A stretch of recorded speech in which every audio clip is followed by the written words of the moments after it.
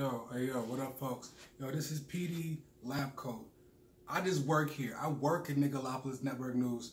I don't, I don't write this. I read. I work for Master. Master gives me the script. He gave me the script to say, okay. Master gave me the script. I just read what's on the prompter. The prompter reads, and I just read it. I, I ain't even getting paid. I ain't even get my check yet. I'm still pissed. I'm taking these motherfuckers to the labor board. So those that feel offended that flooded my inbox about what the script from the worldwide poll said. Don't get mad at me. That's a trillion people. That's a trillion people that raised the, the racist colors in that order. All right, that wasn't me. So the red the comments, the the highlight reels, that wasn't me. I don't even. Who, who, who does the graphics here? I have no idea.